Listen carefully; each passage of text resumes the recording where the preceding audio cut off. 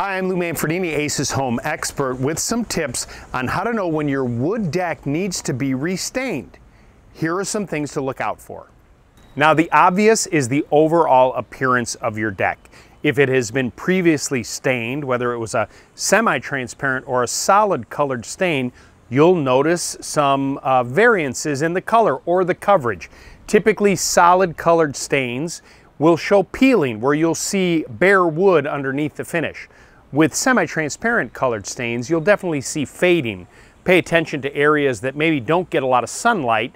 That color will be a little more vibrant than the areas that do, and that can be a sign that it's time to restain or refinish your deck. Something else to consider when it comes time to refinishing a deck is the overall quality of the wood that's on the deck. This is a great time to pay attention to boards that maybe need to be repaired or replaced.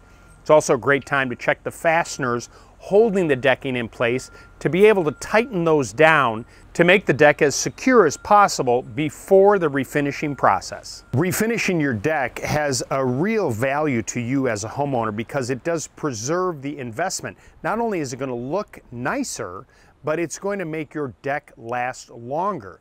So the idea is not to let it go too long because when wood is exposed with a bare wood to the sun and to the wind and the, the weather elements, it can actually wear out and cost you more money down the road. So regular maintenance when it comes to refinishing your deck is very important.